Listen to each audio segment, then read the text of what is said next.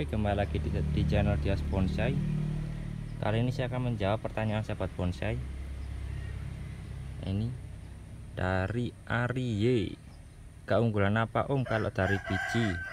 Oke akan saya langsung bahas. Kalau yang pertama pertumbuhannya akan cepat. Seperti ini. Dibandingkan dengan stek atau cangkok Pertumbuhan dari biji Semua biji ini lebih cepat dan yang kedua seperti ini.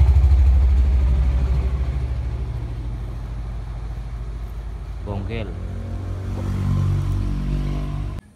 yang seperti ini kalau semua dari biji pasti akan kayak gini. Gingseng atau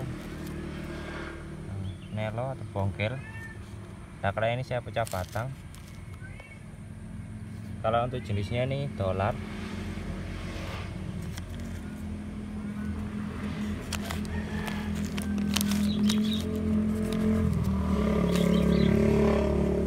pasti kayak gini kalau dari biji kalau dari stek atau cangkok pasti nggak bisa kayak gini. Ini cuma dari biji aja yang bisa.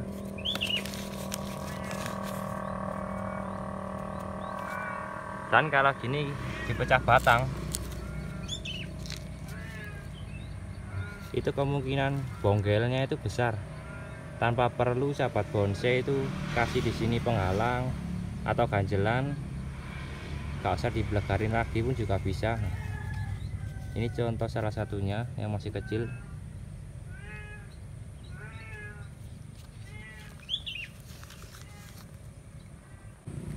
Dan kelebihannya ini juga saat dipecah batang itu akar yang tumbuh itu besar-besar. Kayak singkong kayak gini. Itu dari biji. Nah, kayak gini besar-besar pertumbuhannya makin cepat soalnya akarnya besar. Kemas itu juga besar yang cari kayak gini pun juga dari biji. Ini bonggel-bonggel. Kayak singkong atau kayak gingseng akar ini besar-besar semua. Ini adalah ciri-ciri dari biji dan keunggulannya ini salah satu contohnya juga. Kalau untuk akarnya masih bonggel di sini batang bawahnya seperti ini. Pertumbuhannya ini bisa dibilang cepat kalau dari biji.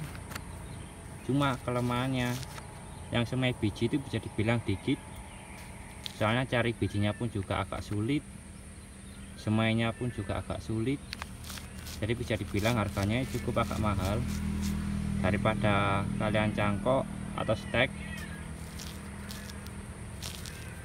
kalau untuk stek dan cangkok harganya masih agak-agak murah. Kalau biji ini bisa bilang sulit. Kan harus semai lagi harus cari harus ini proses yang agak-agak panjang dikit. Oke dan semua bahan mulai dari stek biji dan cangkok. Itu semua punya kelebihan dan kekurangan masing-masing. Tergantung tergantung dari sahabat bonsai ingin mau teknik seperti apa cocokkan pakai bahan apa yang ada di rumah adanya bahan apa yaitu dimaksimalkan dibuat supaya lebih bagus lagi. Dan jangan lupa terus berkarya meskipun dengan bahan yang seadanya. Entah itu dari biji, stek, cangkok terserah. Yang penting terus berkarya dan nggak berhenti di situ-situ aja. Oke sekian dari saya. Semoga bermanfaat Jangan lupa like, subscribe, dan komen.